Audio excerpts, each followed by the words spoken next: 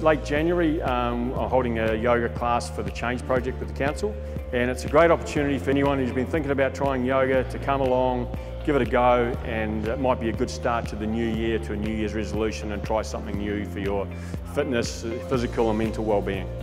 So an average class would be, we start generally with a, with a quietening period, a little bit of a meditation, just, just get used to our breathing, and then we'll start warming up, moving our shoulders, moving our hips, and then we'll probably get into uh, downward dogs, upward dogs, which are basically moving up and down from standing to the floor.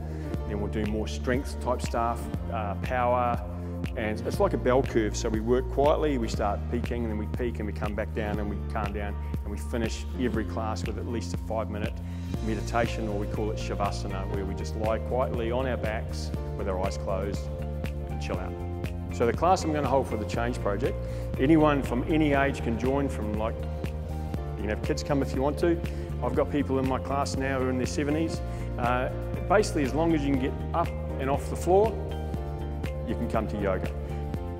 I would just say, give it a go, put all your preconceptions away, come and give it a go in an environment where you're going to feel comfortable.